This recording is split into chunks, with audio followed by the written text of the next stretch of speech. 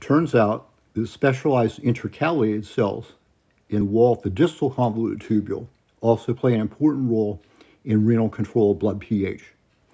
There are two kinds of these cells, type A, or proton secreting cells, and type B, or bicarbonate secreting cells. Let's look at these one at a time.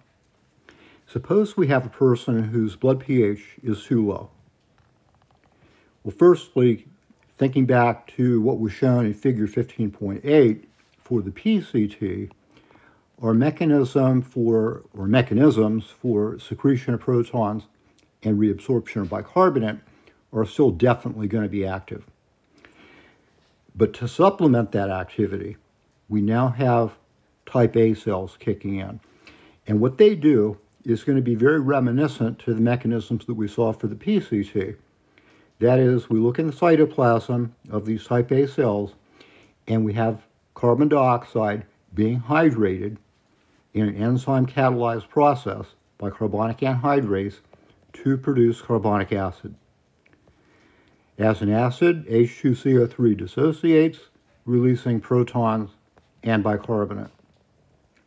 The protons are pumped across the apical membrane into the tubular fluid by the proton pump, an ATP-dependent mechanism. Also, to maintain electroneutrality across the apical membrane, we have another ATP-dependent pump, but this one's a potassium pump that pumps potassium into the cell on a one-for-one -one basis with the extrusion of protons.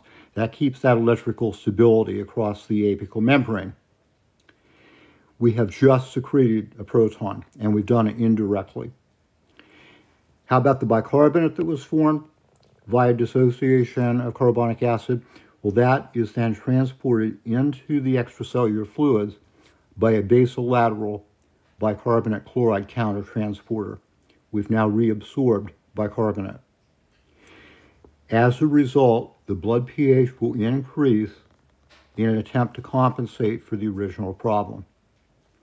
Let's now go to the other scenario.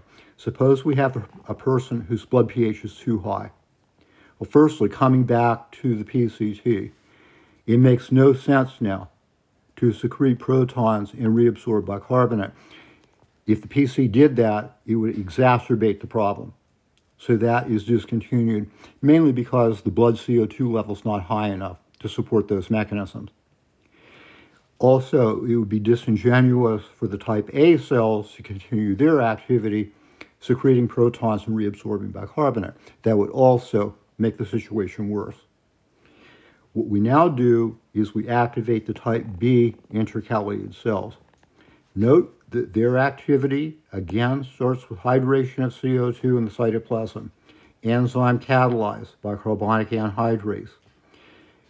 Carbonic acid dissociates into protons and bicarbonate.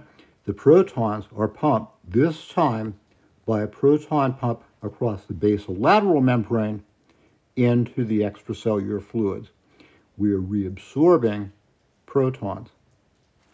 The bicarbonate that was released by the dissociation of H2CO3 is then transported across the apical membrane by a bicarbonate chloride countertransporter. What we are doing now is we are secreting bicarbonate, reabsorbing protons. The pH is going to decrease in an attempt to compensate for the original stressor.